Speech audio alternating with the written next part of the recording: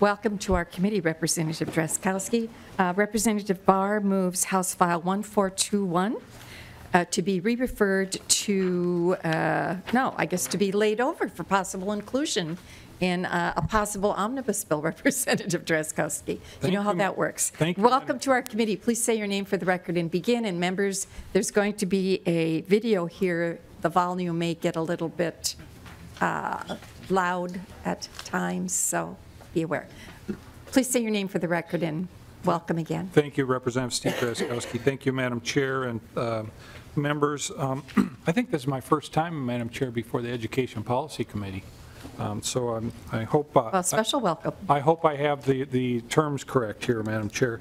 Um, So the uh, bill uh, provides that um, um, schools may hold um, uh, uh, learning days, e-learning days, on days when there's inclement weather in Minnesota. And uh, with us today, uh, we have um, two individuals. We have uh, Mr. Dave Anderson, who is a principal at Zumbrota Mazeppa School, and Angela Heitman, who is a teacher and a parent. They're actively involved in this curriculum that they do. Um, And if you read the bill, members, it's, it's a pretty simple bill in terms of how it's laid out, but it essentially gives uh, authority to districts uh, to not only do these days and to um, uh, provide a structure for how that agreement happens within the school, uh, but also provides that those days are counted in student contact uh, hours or part of the ADM, as you see on the final section of the bill. So that's my introduction of the bill, Madam Chair, and uh, maybe we want to go directly to our testimony.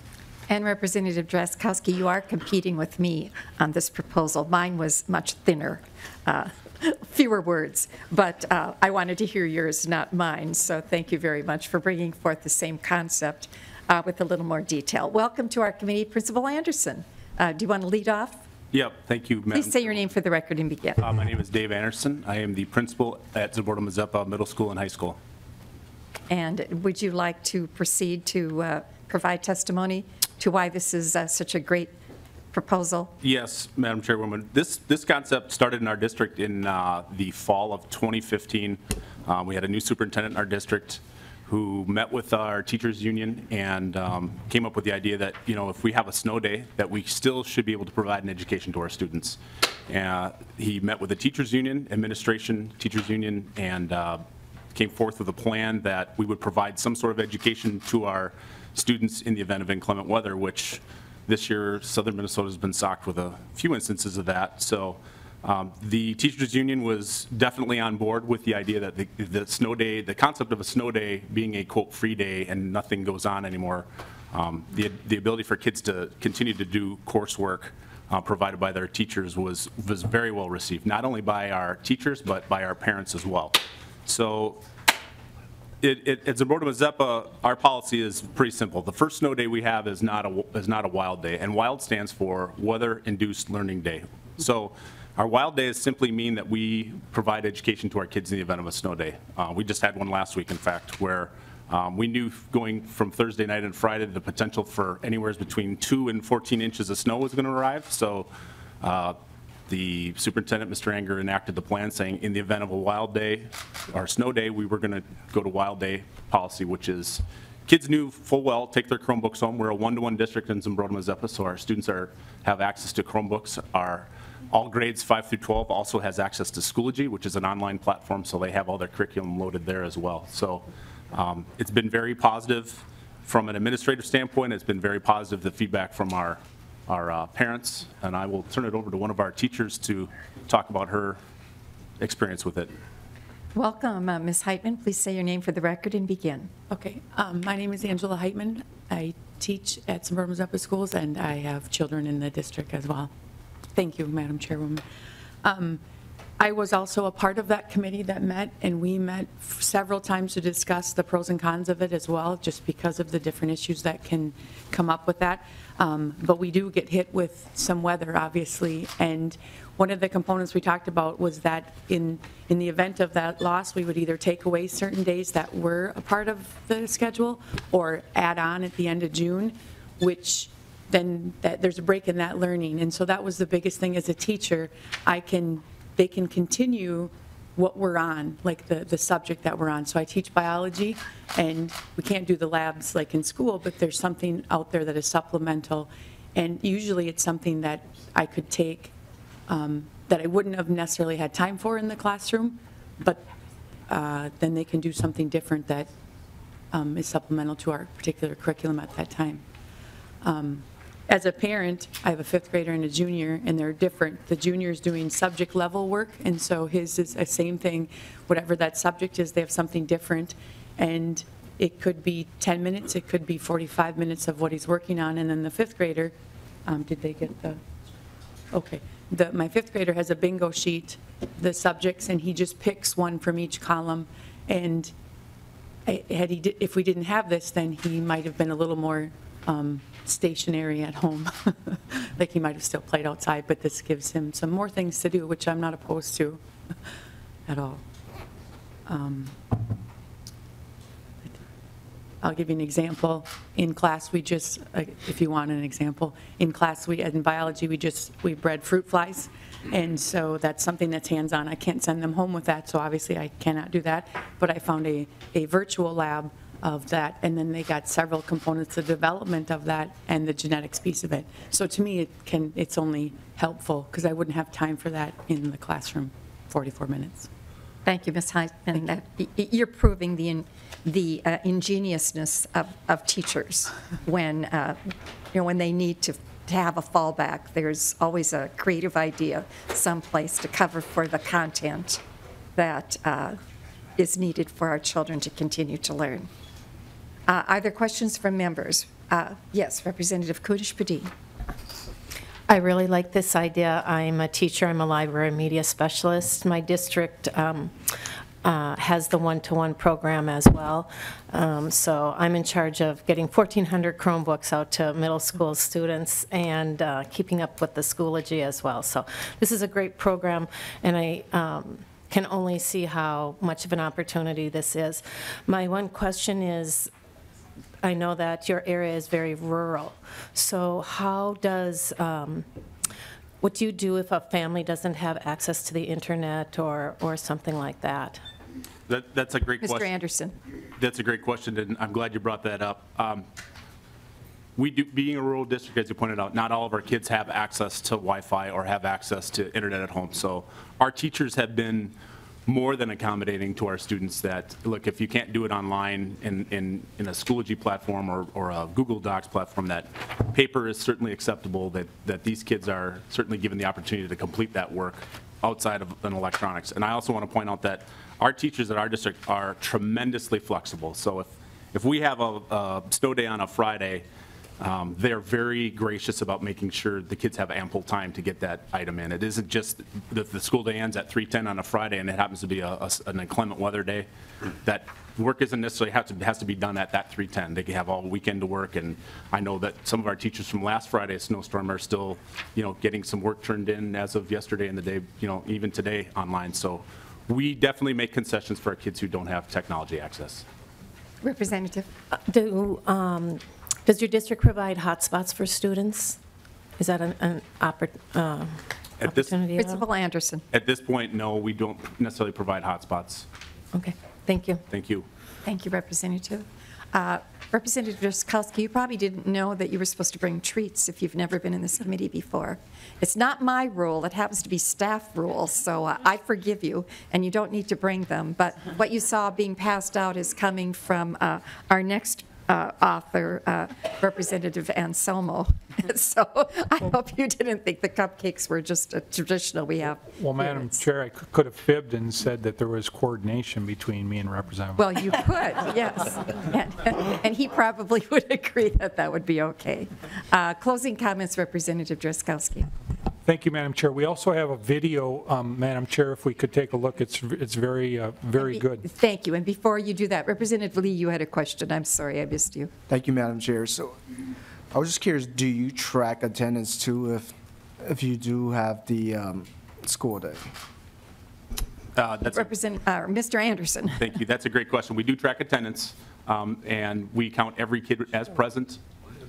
To start the day, and then we work on the fact that, you know, they, their, their presence is that they're doing something, that they're actually completing the work that they are asked to complete. So now we have the production.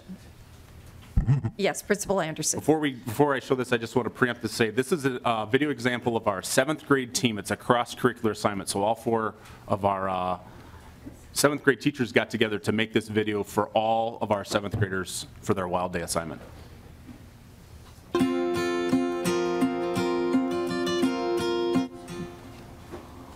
Hey, seventh graders, uh, for your Wild Day assignment today, we're going to be focusing on maple syruping, and we're using the book Little House in the Big Woods by Laura Ingalls Wilder. Hey, Mrs. Bradley, who's Laura Ingalls Wilder?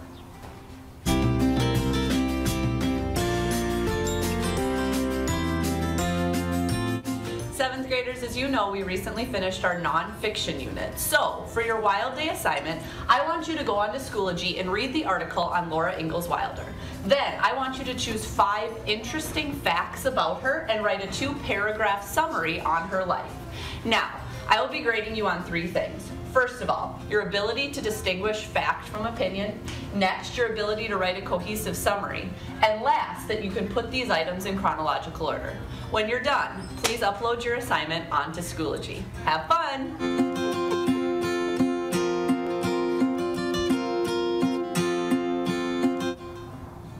So we're here with a maple tree, and the sap from the maple tree is kind of like the maple tree's blood, if you will. It comes from the ground up all the way to the branches, to the very tips of the branches, as described in, in the little house in the big woods, and it is what allows the tree to make leaves. So as the tree prepares to make the leaves early in the spring, like we are now, we can tap the tree and harvest just a little bit of the sap that's moving up and down the tree. So if you look here, we're using three taps in this tree. The taps are small plastic taps. This end goes into the hole that's drilled in the tree, and this end gets hooked to the tubing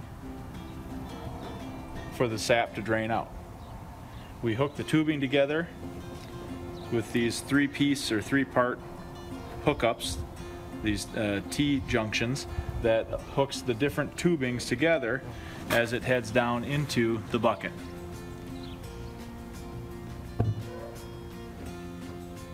Use your document on your history page in Schoology to compare and contrast how we collect maple syrup today with how Laura Ingalls Wilder did it in her book.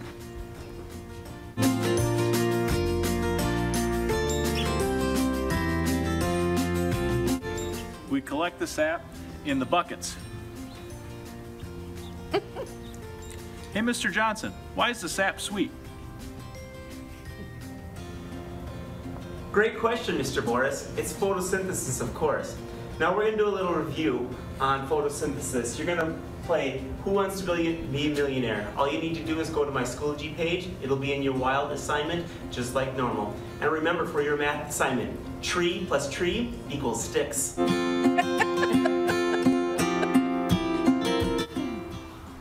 Now that we have the sap, we'll head over to the evaporator. Sap is 97% water, so we're going to have to boil off a lot of it to get down to syrup. Hey, Mr. Mo, how much sap are we going to need? Mr. Boris has told you that sap is 97% water. That means it's going to take about 40 parts sap to make one part syrup. With the information that we gathered with our volume of the bucket and the pan, there's questions on Schoology that need to be answered using those measurements and using the ratio of 40 to 1. Thanks.